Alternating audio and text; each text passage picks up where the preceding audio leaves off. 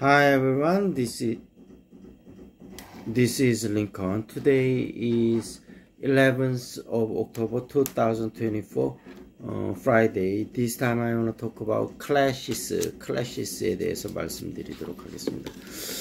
어, 병원용 의료 미용 기기를 많이 생산하고 있고 최근에는 이제 화장품하고 개인용 뷰티 디바이스까지 조금 영역을 넓혀가는 회사고 사실은 이제 텐베거는 사실 낮습니다. 그래서 텐베거가 난 다음에는 보통 이제 주가가 좀 조정을 받는 성향이 높은데 이번에 이제 이루다 하고 어, 또 합병이 되면서 추가적인 성장 동력이 좀 커져서 조금 더 상승할 수도 있을 것 같기는 한데 에, 매출도 꾸준히 가파르게 늘고 있고 영업이익도 가파르게 늘고 있고 영업이익률이 무려 50% 넘는 회사니까 앞으로 추가 반등 가능성이 좀 더 있다고 놓고 다만 valuation이 살짝 부담이다. 이거는 조금 고, 어, 고려를 하셔야 될 것 같고요.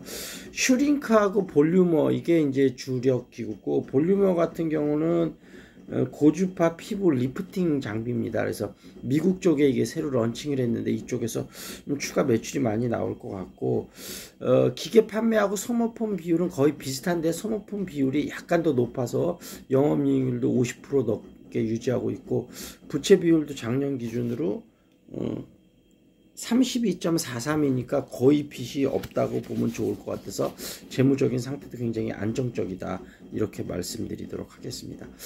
이르다는 피부 미용 기기로 주로 이제 유럽하고 미국 쪽에 집중을 했었고 그 다음에 클래시스는 남미하고 아시아 쪽에 집중을 했었으니까 서로 시너지가 좀 꽤 날 것 같습니다. 그리고 어 지금 보면 음.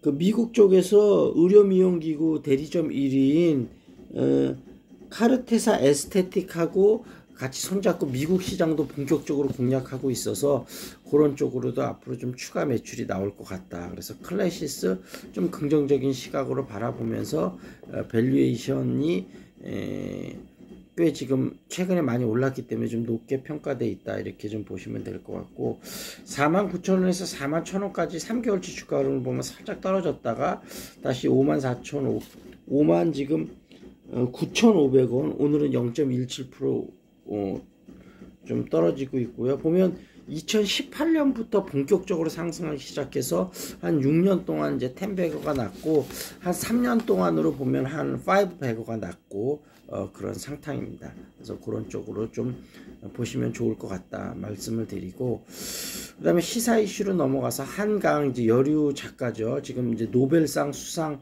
발표가 있었고 어좀 그 여러 가지 좀 일단은 그 아버지도 유명한 작가인데 아버지 여러 가지 인터뷰가 났었고 한강이 이제 채식주의자로 널리 알려져 있고 또 그다음에 광주 사태에 대한 그런 소설들 같은 게 또 널리 알려져 있는데 에, 아무래도 그 뭐라 그럴까요? 어떻게 보면 우리나라로서는 굉장히 비극적인 일이잖아요. 그럼 비극적인 일 속에서 또 개인의 고뇌라든지 아니면은 그 전체적인 사회의 고뇌 그런 것들이 그러니까 어떻게 보면 인간은 좀 고난을 통해서 어, 성장하는 것 같기도 하고요. 정말 힘든 거하고 치열한 삶 속에서 뭔가 또 어, 만들어지는 게 아닌가 그런 생각도 들고 또 한강이 노벨상 소식이 발표되면서 예스24가 이제 주문이 폭주하면서 또 상한가를 갔다 그래요. 그래서 어, 좀 전혀 생각지도 못했던 데에서 원래 한강이 이번에 노벨상 수상 노벨 문학상 수상되는 것도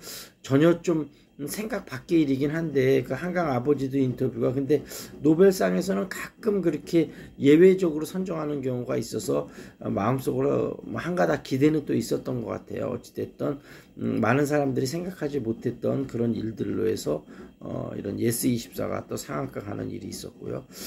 그 다음에 이제 보궐선거를 보면 이제 음, 부산 쪽이 이제 최대 관심사인데 부산 쪽에서는 지금 엎치락 뒤치락 하는 것 같아요. 민주당이 조금 어, 앞서는 결과도 나온 것 같고요.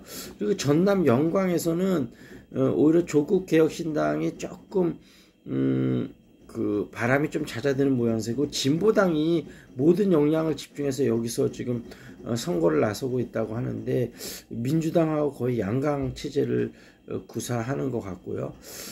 어, 그런 보궐선거 이슈가 있었고 그 다음에 명태균 이슈는 지금 어, 갈수록 핵폭탄급으로 지금 성장하고 있는 거고 어, 이 이슈 때문에 지금 음, 국민의힘 여권에서 어, 위기감이 상당히 증폭되는 걸로 나오고 그래서 음, 지금 일단 대통령하고 어, 그 다음에 이제 여당 당 대표가 어, 이제 공식적인 만남을 하기로 이제 다시 정했다. 이제 아마 보궐선거 지나고 만난다 그러는데 사실은 수시로 만나야 되는데 이런 만남 자체가 이슈가 된다는 것 자체가 문제기는 한데 어찌됐든 어, 지금 한동훈 대표하고 지금 윤석열 대통령이 서로 특히 윤석열 대통령이 굉장히 이제 어, 그 만나기 싫어하는 것 같은데 여러 가지 상황 때문에 어쩔 수 없이 만나는 것 같고 그 다음에 이제 한동훈 대표나 그 지금 측근에서 지금 김건희 씨 이대로는 힘들 것 같다 이런 이슈들이 많이 나오면서 국민 여론이나 정서를 감안을 해서 여러 가지 또 이야기들이 나오는 것 같습니다.